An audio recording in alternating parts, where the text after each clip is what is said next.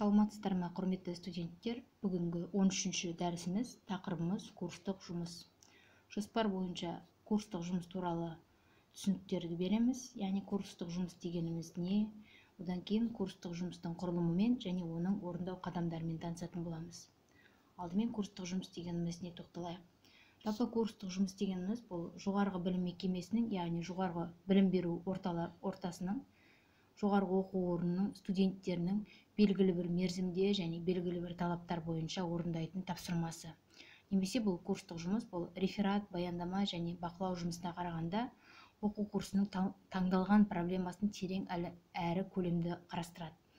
Бұл жиі жағдайда курстық жұмыстар мамандық бойынша негізгі болып табылатын пәндер бойынша орындалатын болады. Курстық жұмыс ол студенттердің шығармашылық қабілеттерін танытады педагогикалық ойлауын дамытып ғылыми зерттеу дағдыларын қалыптастырады десе болады. Курстық жұмыстың мақсаты ол оқылатын пәндер бойынша алынған теориялық білімді және практикалық қабілеттерді жүйелендіру және жалпылау берілген тапсырмаға сәйкес теориялық білімді тереңдету жалпы және кәсіби құзыреттерді қалыптастыру және дамыту студенттерді шынайы кәсіби проблемаларға тарту арқылы кәсіби маңызды зерттеу қабілетін ғылыми ойлаудың заманауи стилін дамыту. Бітірушілердің теориялық және практикалық дайындық деңгейін тексеру және анықтау кәсіби құзыретті қалыптастыру шарттар ретінде үздіксіз өзін-өзі дамытудағы қажеттілікті өзектендіру және мемлекеттік яғни қорытынды аттестацияға дайындау болып табылады. Курстық курстық жұмыстың жазу барысында білім алушы көрсету керек. Біріншіден әдебиетпен жұмыс жасау дағдысын ақпаратты ақпарат көздерін талдау қабілеттілігін көрсету керек.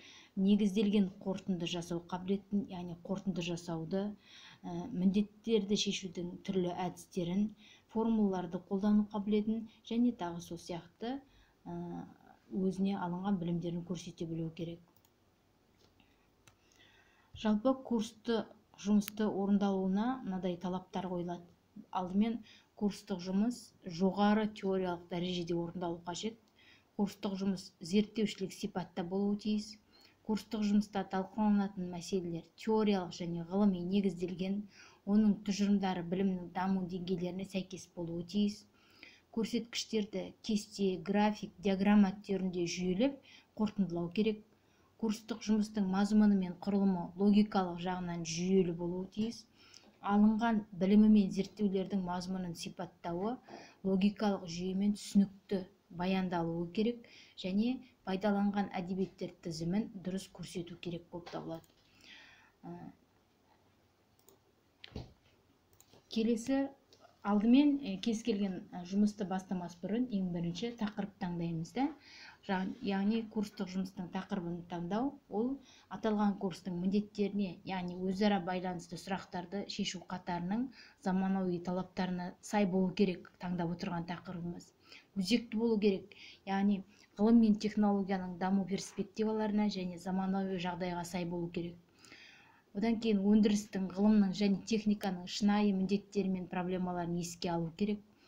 Бітіруші мамандықтың бейініне сәйкес болу керек.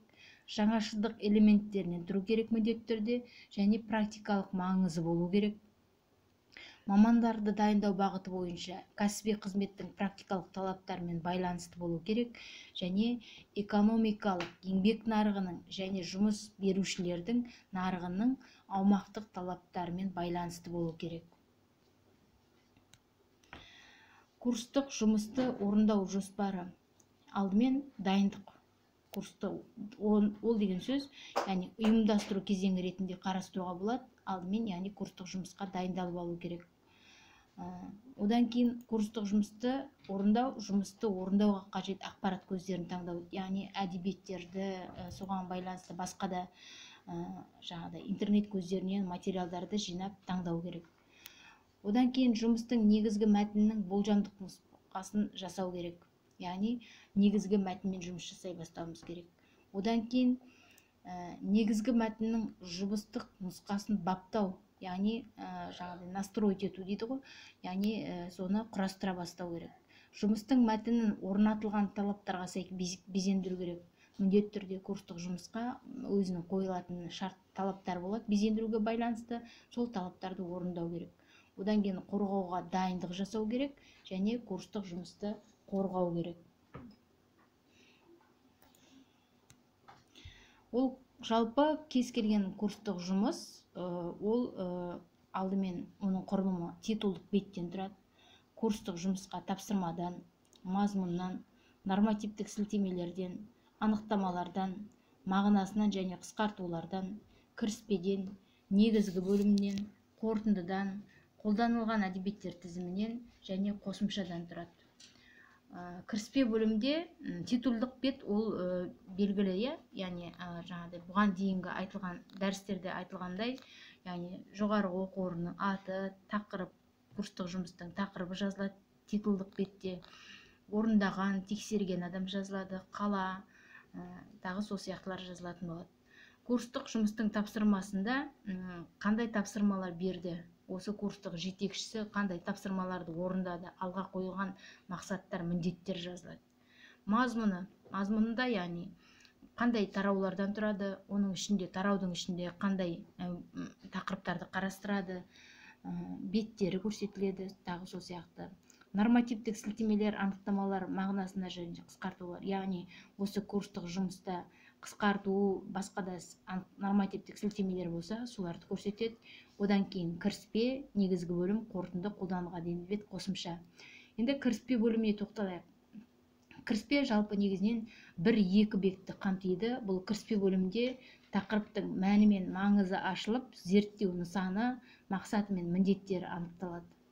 Ол жалпы негізінен ә, одан кейін негізгі бөлім негізгі бөлімде көбінесе ол бірнеше бөлімдерден тұрады. Үш бөлімнен тұруы мүмкін бір екі бөлімнен тұруы мүмкін кейбір жағдайда. Ол негізгі бөлімде ә, жаңағы осы тақырып бойынша атқарылған жұмыстардың мазмұны келтіріледі. Одан кейін қорытынды яғни қорытындыда ода қандай нәтижеге қол жеткізді? Осыған дейін қандай проблемалар болды? Қандай нәтижелерге қол жеткізді? Сол ә, келтіріліп жазылатын болады. Қолданылған әдебиеттер тізімі міндетті түрде қолданылған әдебиеттер тізімі ә, сілтеме алыну керек ә, жұмыстың барысында. Сол әдебиеттер рет ретіменен орындалып жазылу керек. Қосымшада яғни егер бар болса қосымшадан тұрады. Яғни программаның мысалға программа жазатын болсаңыз соның листингі программаның кодтары немесе басқалар қосымша ретінде тіркеуге болады. Бұл курстық жұмыстар жалпы рефераттық стильдегі курстық жұмыстар деп бөлінеді. Э, одан кейін бұл рефераттық курс сипаттағы курстық жұмыс негізінен кіріспеден теориялық бөлімнен қорытынды қолданылған әдебиеттер және қосымшадан тұрады. Кіріспеде онда тақырыптың өзектілігі және мағынасы ашылады. Мақсат міндеттері нысаны объектті зерттеу заты глоссарийлер қалыптасады. Теориялық бөлімде бұл жерде сұрақтың тарихы беріледі. Әдебиеттерді салыстырмалы түрде талдау арқылы теориядағы және практикадағы проблеманы шешілу деңгейі көрсетіледі. Ал қорытындыда материалдардың қолдану мүмкіндігіне қатысты қорытындылар мен ұсыныстардан тұрады. Қолданылған әдебиеттер және қосымшадан тұрады. Одан кейінгі практикалық сипаттағы курстық жұмыстар олар ә, кіріспеден негізгі бөлім қорытынды қолданылған әдебиеттер және қосымшадан тұрады. Кіріспеде тақырыптың өзектігі және мағынасы ашылады. Мақсат міндеттері нысаны объекті зерттеу заты глоссарий қалыптасады. Негізгі бөлім ол көбінесе екі бөлімнен тұрады. Бірінші бөлімде жасалынатын тақырыптың теориялық негіздерінен тұрады. Екіншісі практикалық бөлім болып табылады. Мұнда тақырып бойынша кәсіби қызметтің бір түрі бойынша жұмыс тәжірибесі арнайы әдебиетте жалпыланған сипаттамасы есептер кестелер графиктер сызбалар және тағы да басқалар арқылы ұсынылады. Яғни егер программисттер болса мысалға оларда осы практика бөлімінде қандай зат жасады? Мысалы электронды оқулық жасады ма немесе сайт құрды ма немесе басқа бір тест ортасын құрды ма? Тағы сол сияқтылардың сипаттамасы беріледі. Қорытындыда мұнда жұмыстың материалдарын практикалық қолдану мүмкіндігіне қатысты қорытындылар мен ұсыныстардан тұрады және әдебиеттер мен қосымшаларды келтіреді. Одан кейін тәжірибелі эксперименттік сипаттағы курстық жұмыс. Ол ол да кіріспеден негізгі бөлімнен қорытынды қолданылған әдебиеттер және қосымшадан тұрады. Кіріспеде тақырыптың өзектігі мағынасы ашылады эксперименттің мақсаттары мен міндеттері анықталады.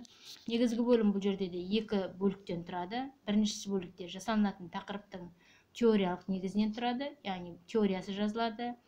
Екінші бөлімде экспериментті жүргізу жоспарынан тұрады яғни эксперименттік жұмыстың әдістерінің сипаттамасынан таңдалынған әдістің негізделуінен эксперименттің негізгі кезеңдерінен тәжірибелі эксперименттік нәтижелерін өңдеуден және талдаудан тұрады. Және қорытынды бөлім. Қорытынды бөлімінде ә, практикалық қолдану мүмкіндігіне қатысты қорытындылар мен ұсыныстар және сонымен қатар қолданылған әдебиеттер және қосымшалар келтірілетін болады.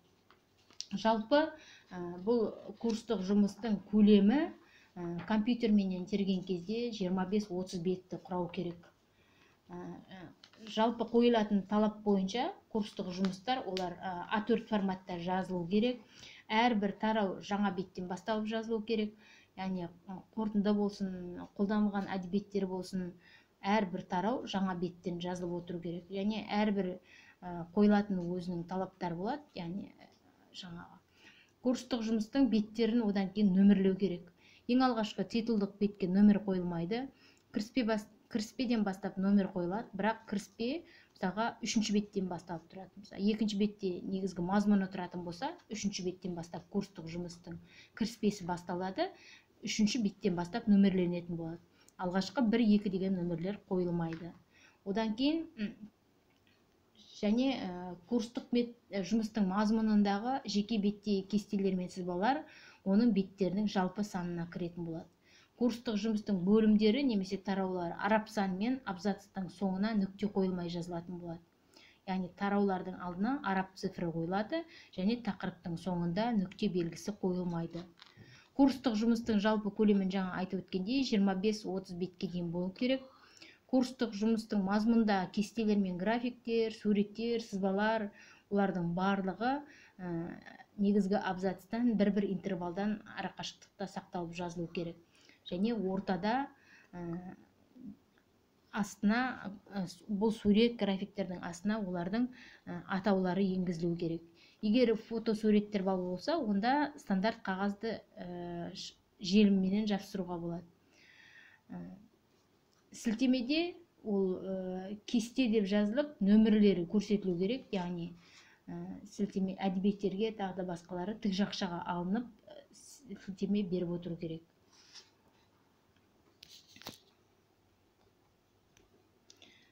Бекіту сұрақтары курстық жұмыстың мақсаты не курстық жұмыстың құрылымы курстық жұмысты орындауға қойылатын талаптар және курстық жұмыстың түрлері және олардың құрылымын атаңыз қолданылған әдебиеттер.